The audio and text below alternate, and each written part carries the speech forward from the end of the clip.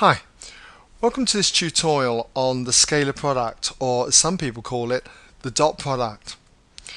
Now the scalar product has many applications but one of the applications that we're going to look at here is its use in finding the angle between two vectors say A and B.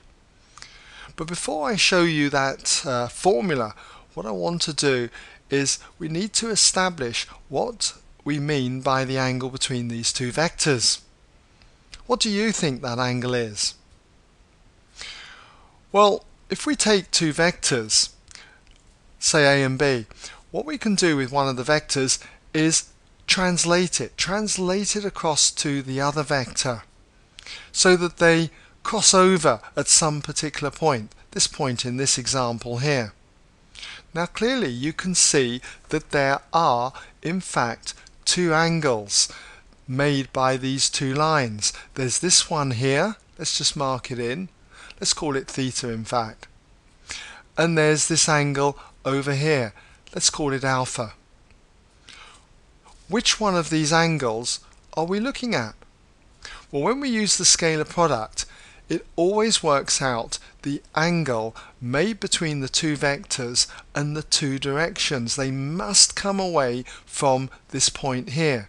So it's not this angle in here. We'll rub that out. It's this one. The directions come away from this point here. Look, here's another example just to illustrate this point. We've got two vectors A and B here. So if we bring vector B to A so that they cross over. Notice that they cross over here and the two directions come away from this point. So they come away from this angle in here, not this one over here. So this would be the angle that the scalar product would work out. So let's have a look at working that angle out, whether it's this one or this one? Well, suppose the two vectors a and b are given in i, j and k components as for a, a1, a2, a3 and for b, b1, b2 and b3. Then it can be shown that the cosine of the angle between the two vectors is given by something called a dot b. Hence the name the scalar product or the dot product. I'll tell you in a moment what we mean by A dot B. And all of this is divided by the magnitude of the vector A and the magnitude of the vector B. So what is A dot B? Well, it's defined as being the sum of the product of the components. And by that I mean a1 times b1 plus a2 times b2 plus finally a3 times b3.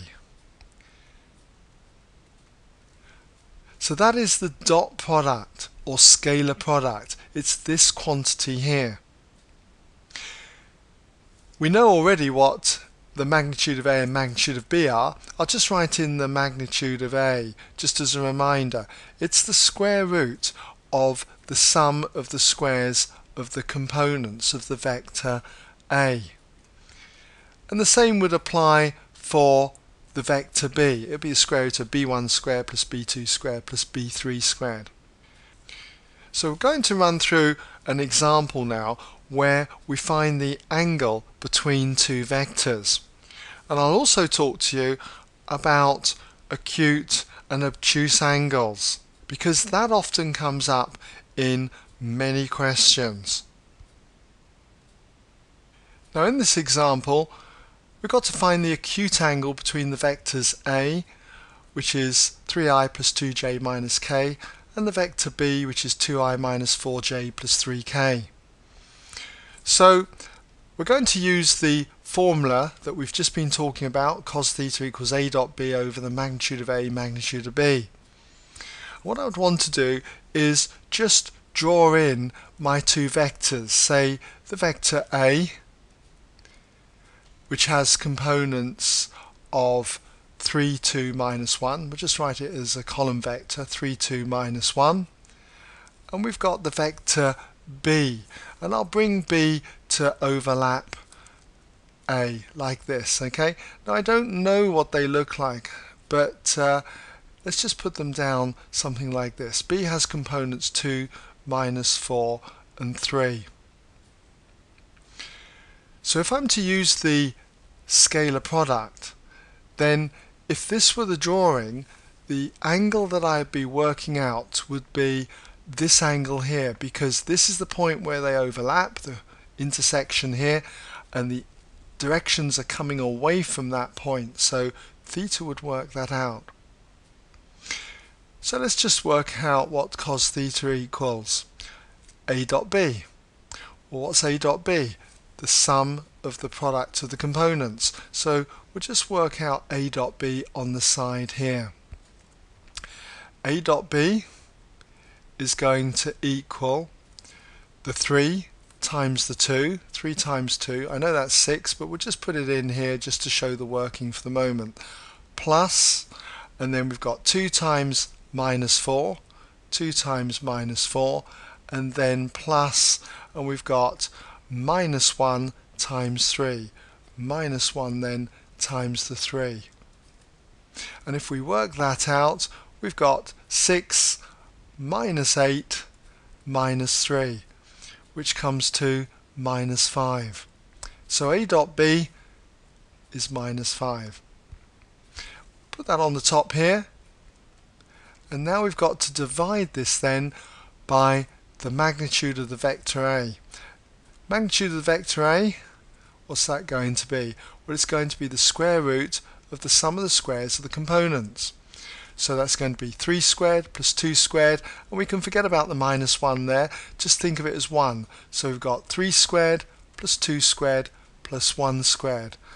And that gives us the square root then of 9 plus 4 plus 1. So that's going to be a total of 14. So square root then 14. I'll just leave it like that. And similarly, if we come down here, we need to work out the magnitude of the vector b and that will be the square root then of 2 squared plus the 4 squared plus 3 squared. And that comes to the square root then of 4 plus 16 plus 9 that's 29 root 29 so under here we've got the magnitude of a root 14 times the magnitude of b which is the square root of 29. So we just need to get on the calculator and work this out.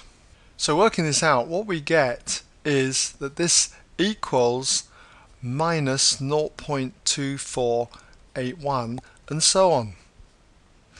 And to get theta we just need to do the inverse cos of minus 0.2481 and so on. And if you do this on your calculator, what you'll get is 104.36 and so on degrees. Now clearly this is not an acute angle. An acute angle is an angle less than 90 degrees. What we've got is an obtuse angle, more than 90 degrees but less than 180. What that's giving us is this angle. Okay, it looks acute in this diagram, but I didn't know what the diagram was going to look like. It was just a guess. So clearly this is an angle of 104.36 odd degrees. We want the acute angle, which will be this one round here. Again, I know it doesn't look acute, but that is the angle that we require. So I just need to take this away from 180 degrees. So therefore, the acute angle, let's just say that, is going to be 180 degrees, take away the 104.36 odd degrees, and that's going to give us 75.63 and so on degrees. Okay, and you could give that to any accuracy that you want. Well, that brings us to the end of this particular tutorial. But what I would encourage you to do is Have a look at the next example that follows. It uses the scalar product to work out the interior angle of a triangle. Quite an important example to do.